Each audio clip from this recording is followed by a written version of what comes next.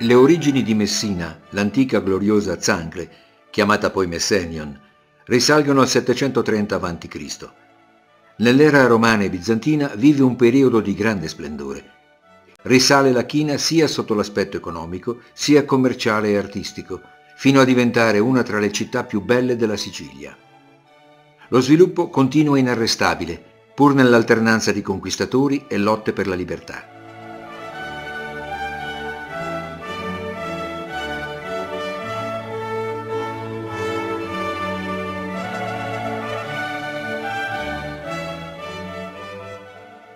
La tenacia dei suoi figli trova ancora la strada per resistere e ogni volta rinascere più bella e più splendida. 28 dicembre 1908 Dopo la dolcezza e la gioia del Natale, la città, pensando all'anno nuovo, accarezza sogni e speranze. Continuano, fino a notte inoltrata, iniziative, preparativi, festini e incontri. Ora tutto tace. L'intera città, ovattata di silenzio, riposa.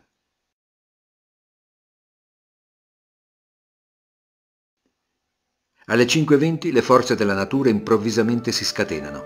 Rumori cupi, mai sentiti, crolli assordanti, coprono urla disperate di uomini e animali. Un terribile terremoto, seguito da un altrettanto terribile maremoto, hanno cancellato la vita. Là dove erano Reggio e Messina ci sono cumuli di macerie fumiganti.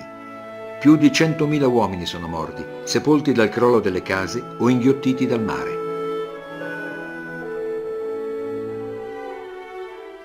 Inizia la corsa contro il tempo.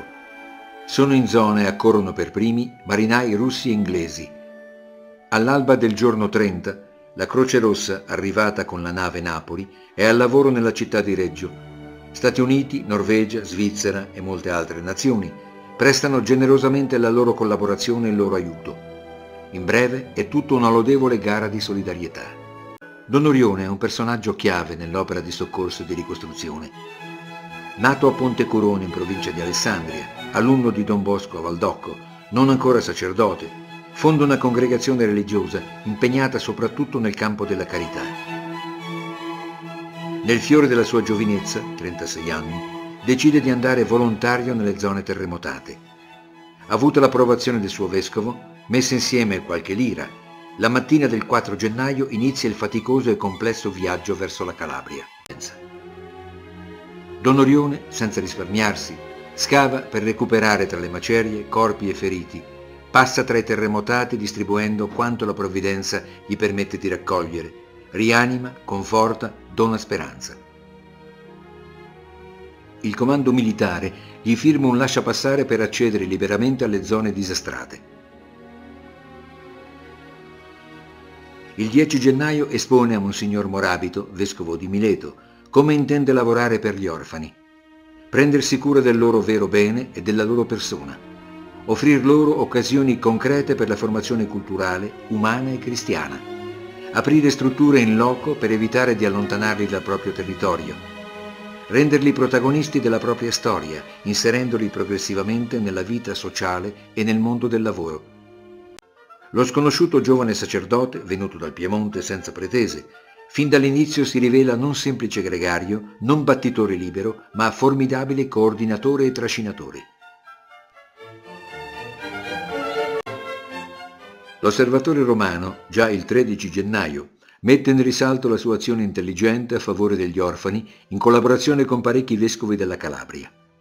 La carità non conosce barriere.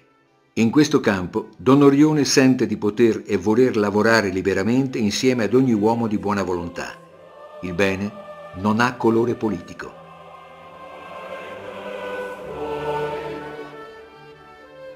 Approda Messina senza veri punti di riferimento.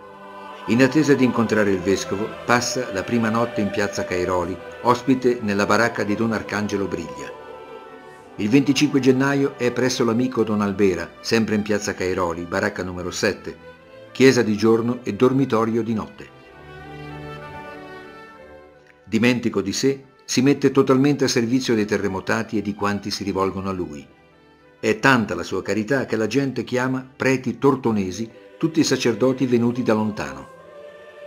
In data 11 febbraio il giornale L'Avvenire d'Italia Parla di Don Orione che continua a soccorrere i terremotati e raccogliere gli orfani perché non siano allontanati dalla loro madre terra, che organizza preghiere e celebrazioni a suffragio dei defunti con la partecipazione massiccia dei sopravvissuti.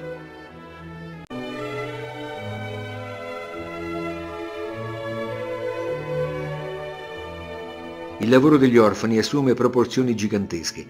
Sono stati raccolti già 4.025 orfani e 3.078 orfani di padre o di madre. Più della metà, non avendo beni, sono assistiti in forma gratuita.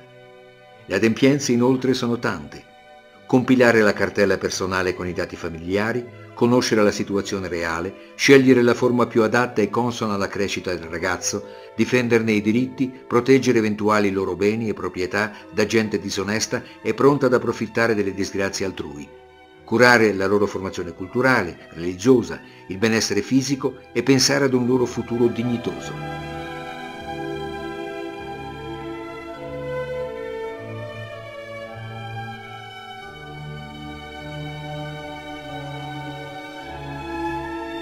Contemporaneamente continua a collaborare per il recupero dei corpi e dei beni dalle macerie, a provvedere le scorte per il mantenimento di tante persone, a interessarsi dei ragazzi che sono finiti in carcere, dei malati, dei feriti e di cento altre cose ancora.